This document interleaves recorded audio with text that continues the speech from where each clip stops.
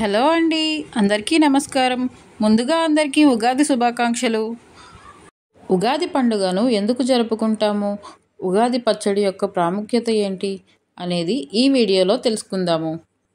నా ఛానల్ని మొదటిసారిగా చూస్తున్నట్లయితే సబ్స్క్రైబ్ చేసుకోండి. పక్కనే ఉన్న బెల్ని ప్రెస్ చేయండి. Please subscribe my channel. ఇక వీడియోలోకి వెళ్ళిపోదాం.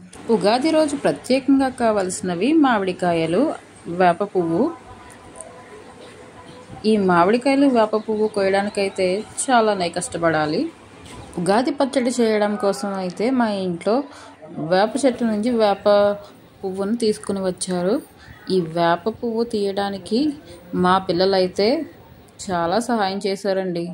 కానీ నాకంటే మా పిల్లలే ఎంతో ఫాస్ట్గా తీశారు. అవి మొగ్గలు రాకుండా పువ్వును మాత్రమే తెంపాలి అందులోని దానికైతే మాకు గంటన్నర సమయం అయితే పట్టింది. ఇంటికి తోరణాలు కట్టడం కోసం ఆకుల్ని అలా తోరణాలు చేసుకున్నాము. తోరణాలు అయితే కట్టడం అయ్యింది. ఉగాది పచ్చడి యొక్క ప్రాముఖ్యత. ఉగాది రోజున ముఖ్యమైన వంటకంగా ఉగాది పచ్చడిని చేస్తారు. షడ్రుచుల సమ్మేళనంగా చేసే ఈ పచ్చడి జీవితంలో అన్ని భావనలను చెప్పే భావం. ఇందులో ఇమిడి ఉంది. పచ్చడి ఒక్కొక్క పదార్థం ఒక్కో భావానికి అనుభవానికి ప్రతీత. బెల్లం తీపి ఆనందానికి ప్రతీక. ఉప్పు జీవితంలో ఉత్సాహం రుచికి సంకేతం. వేప పువ్వు చేదు బాధ కలిగించే అనుభవాలు. చింతపండు పులుపు నేర్పుగా వ్యవహరించాలని పరిస్థితులు. పచ్చి మామిడి ముక్కలు వగరు కొత్త సవాళ్ళు. కారం సహనం కోల్పోయేటట్లు చేసే పరిస్థితులు. ఈ షడ్రుచుల సమ్మేళనమే ఉగాది పచ్చడి.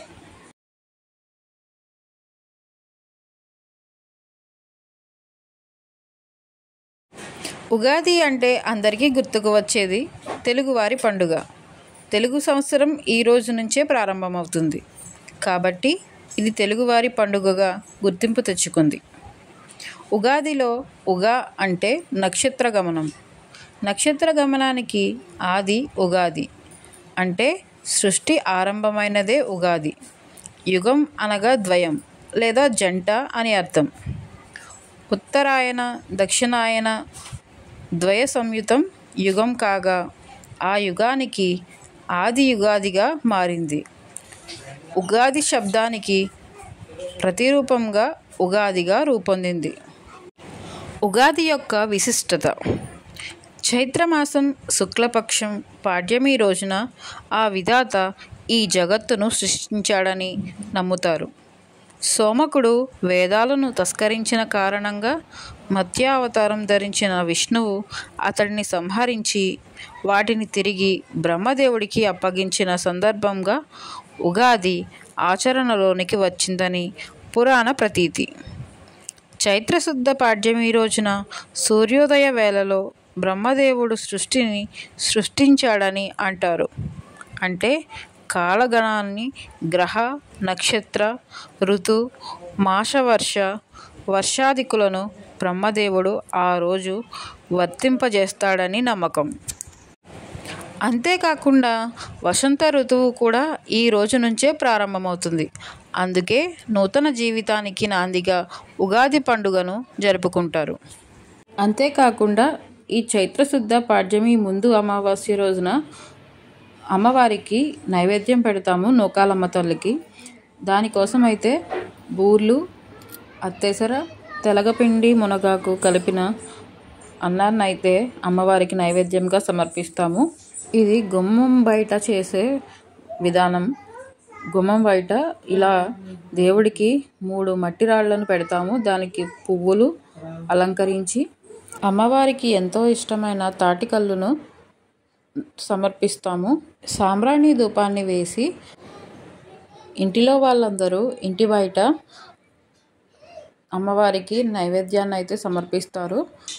అందరూ కూడా అమ్మవారికి నమస్కారం చేసుకుని సంవత్సరం అంతటా కూడా వారికి సంతోషంగా కలిగేటట్టుగా దీవించమని ఆరోగ్యాలతో సుఖ సౌఖ్యాలతో ఉండేటట్లుగా దీవించమని కోరతారు. ఇక్కడ మేము చేసే పూజా విధానాన్ని అయితే మీరు చూస్తున్నారు. అమ్మవారికి పళ్ళాన్ని పైకి పెట్టి మూడు సార్లు నేలకు ఆంచి దండం అయితే పెట్టుకుంటాము. చూస్తున్నారు కదా మా చిన్నమ్మాయి కూడా పూజ చేస్తుంది. ఎలా చేస్తుందో చూడండి. పూజనైతే చేస్తుంది. మరి చూడండి ఎంత చక్కగా చేస్తుందో.